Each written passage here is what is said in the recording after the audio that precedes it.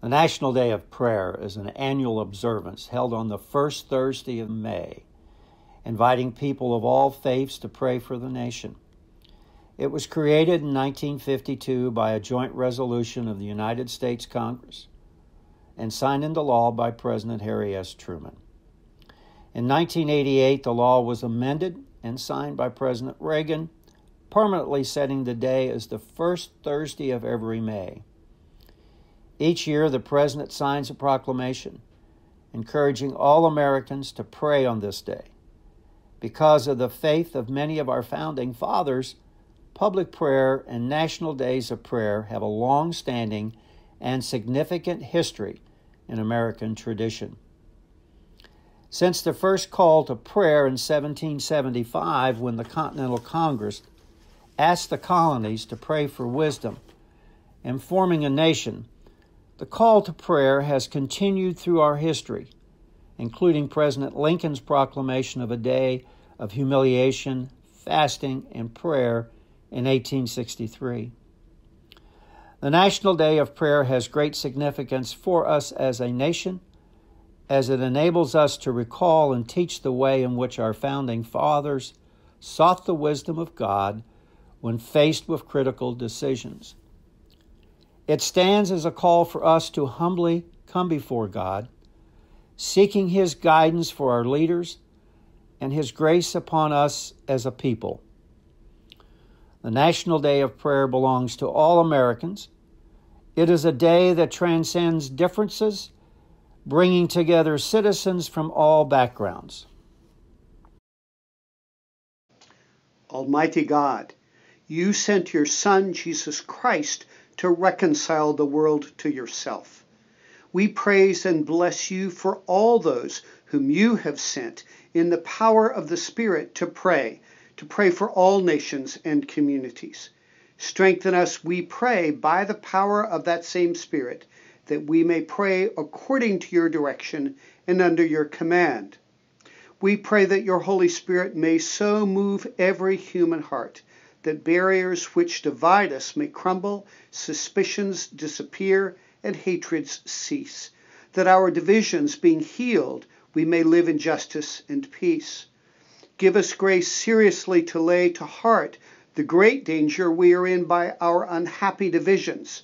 Take away all hatred and prejudice, and whatever else may hinder us from godly union and concord. Look with compassion on the whole human family unite us in bonds of love, and work through even our struggles and confusion to accomplish your purposes on earth, that in your good time all nations and races may serve you in harmony around your heavenly throne. Guide us in our time of prayer, that we may be all of one heart and one soul, united in one holy bond of truth and peace, of faith and charity that our prayers may glorify you and by your grace be an instrument you use for the carrying out of your purposes. Through Jesus Christ our Lord. Amen. Let us pray. Lord, we exist to give you glory.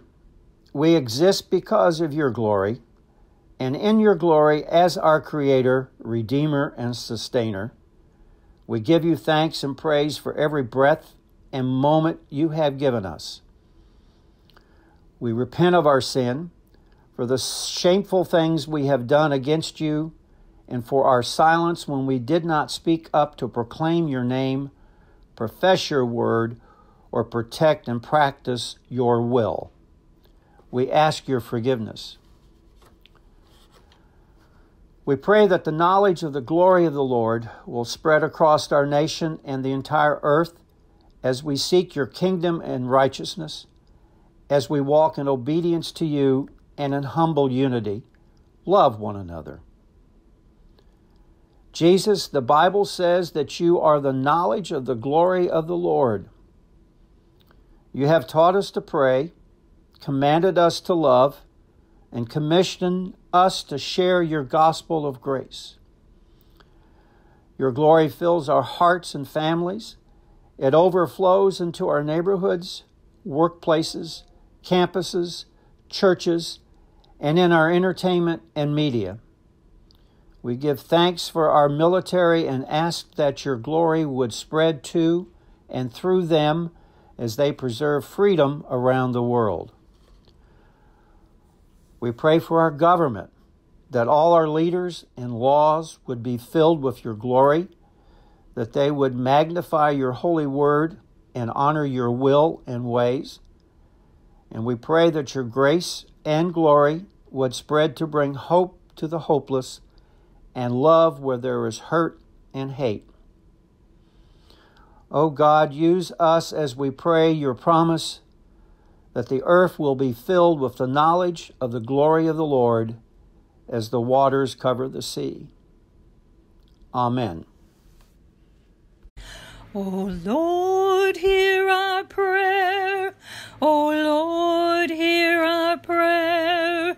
When we call, answer us. O Lord,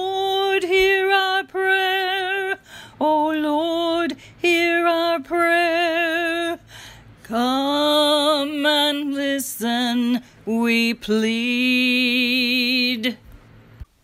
A reading from the first book of Kings, chapter 8, verses 10 and 11. It happened that when the priests came from the holy place, the cloud filled the house of the Lord so that the priests could not stand to minister because of the cloud. For the glory of the Lord filled the house of the Lord. The word of the Lord. Jesus, we pray that your church would be saturated with your glory. We plead that your presence would fill the churches so that people will be drawn into and saturated in the experience of your presence in your church that your word would be clearly and courageously taught and obeyed. We pray that our lives will be a faithful testimony of your goodness and would be known by our love as we live to give you glory. O Lord, hear our prayer. O Lord, hear our prayer. When we call, answer us. O Lord, hear our prayer. O Lord, hear our prayer. Come and listen, we plead. A reading from Psalm 102, verse 15. So the nations will fear the name of the Lord, and all the kings of the earth, your glory. Let us pray. Lord God, we pray your glory would break out like the dawn in and through our government. We seek to live under your authority as well as your blessings, and so we pray that America would bless you with our leaders, laws, and lives. Please reveal your presence and power to every person who serves in our local, state, and federal governments. Show them your glory and goodness Guide them in your ways, so that our nation would give you glory. That light will shine into every government office and meeting, and all plans, deeds, decisions, strategies, and schemes will either be exalted or exposed according to the word and will of God. Amen. O Lord, hear our prayer. O Lord, hear our prayer. When we call, answer us. O Lord, hear our prayer. O Lord, hear our prayer. Come listen, we plead. A reading from Ephesians 3, verses 14 through 19. For this reason, I bow my knees before the Father, from whom every family in heaven and on earth derives its name, that he would grant you, according to the riches of his glory, to be strengthened with power through his Spirit in the inner man, so that Christ may dwell in your hearts through faith, and that you, being rooted and grounded in love, may be able to comprehend with all the saints what is the breadth and length and height and depth and to know the love of Christ which surpasses knowledge, that you may be filled up to all the fullness of God. Heavenly Father, we pray that you will extend and expand your glory through our families as we dwell in you. We pray that you strengthen marriages so that all husbands and wives would remain faithful to you and to one another. We pray that parents would love and nurture their children spiritually in your word and ways, as well as lovingly providing for their physical, emotional, and mental needs. And that God would heal the wounds of abandonment and abuse, that all people would know that they are loved. May every person live in the abundant life and divine destiny authored and perfected by Jesus. O Lord, hear our prayer. O Lord, hear our prayer. When we call, answer us. O Lord, hear our prayer. O Lord, hear our prayer. Come and listen, we plead. A reading from Paul's letter to the Ephesians, chapter 1, verse 17. That the God of our Lord Jesus Christ, the Father of glory, may give to you a spirit of wisdom and of revelation in the knowledge of him. Lord, who gives wisdom, knowledge, and understanding, we pray the campuses would be filled with your glory. We know that the fear of the Lord is the beginning of wisdom. We pray that every student and educator would live in reverence and relationship with you, that the decision makers, administrations, and educators would be supported and make sound decisions that glorify God and serve our students in every area of education. Lord, hear our prayer. O Lord, When we call, answer us. O Lord, hear our prayer. O Lord, hear our prayer. Come and listen, we plead. Colossians 1 9 through 11. For this reason also, since the day we heard of it, we have not ceased to pray for you and to ask you that you may be filled with the knowledge of His will and all spiritual wisdom and understanding, so that you will walk in a manner worthy of the Lord, to please Him in all respects, bearing fruit in every good work and increasing in the knowledge of God, strengthened with all power according to His glorious might, for the attaining of all steadfastness and patience joyfully. Lord, we pray that you will fill every workplace in our nation with your glory. We pray that all we do, every word, plan, strategy, goal, transaction, and relationship would bring you glory. We give you glory for our knowledge, talents, and opportunities. We pray that every workplace from the schools, military, home, office, store, and more will be filled with those who are praying and living out their faith in Jesus with love, excellence, and respect. O Lord, hear our prayer. O Lord, hear our prayer. When we call, answer us. O Lord, hear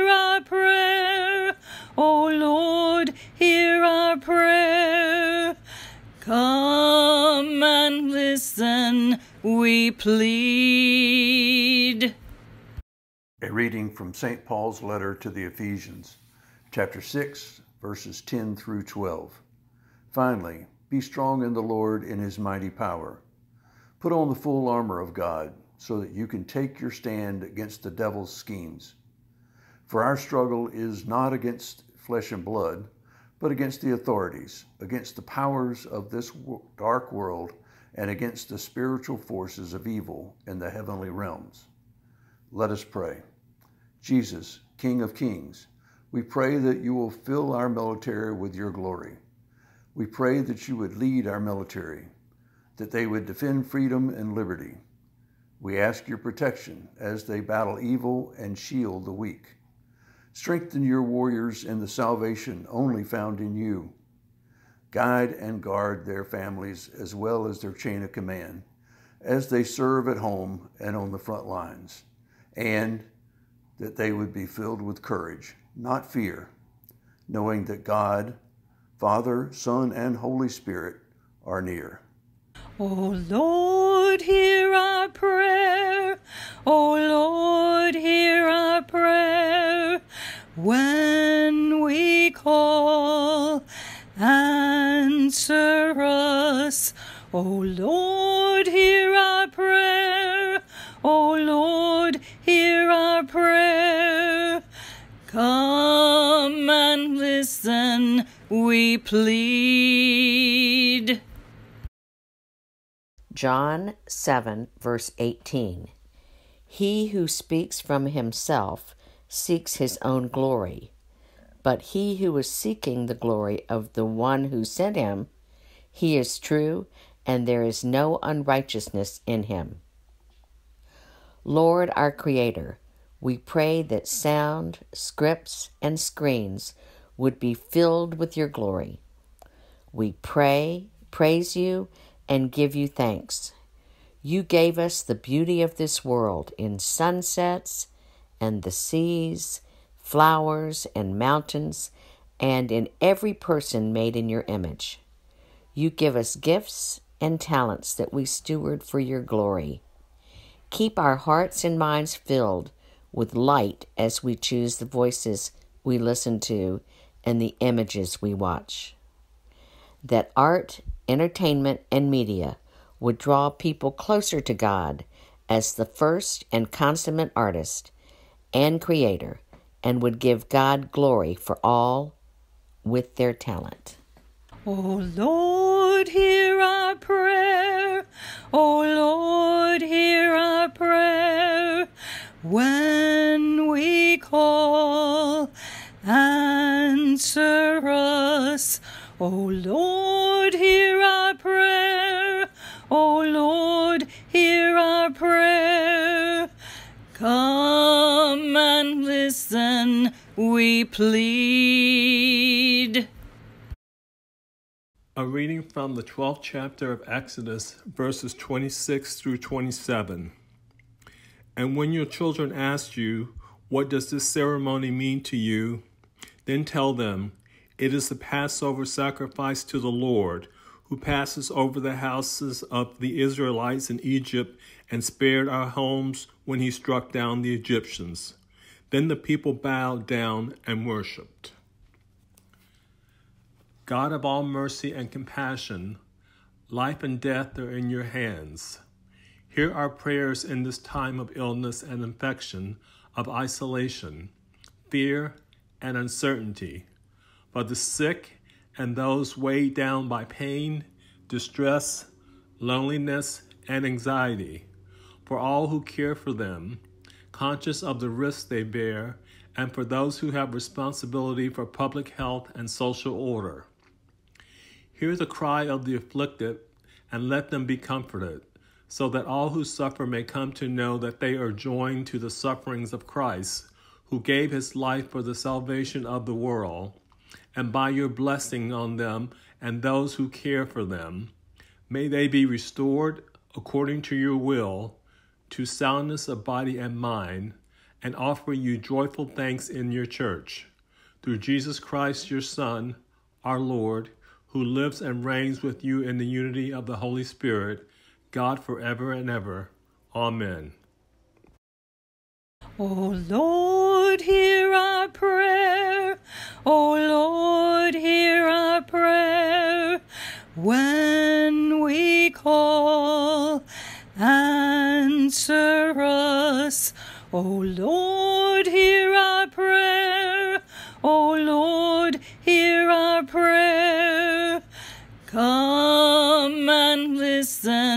we plead. Almighty and everlasting God, creator of all that is, together we come to you as brothers and sisters in Christ. of the Brotherhood of St. Andrew, and the Daughters of the King, to pray for our country, for our national, state, and local leaders, for our legislatures, and for our judiciaries. We pray also for all members of our armed forces and all those who put service before safety to keep us safe and free.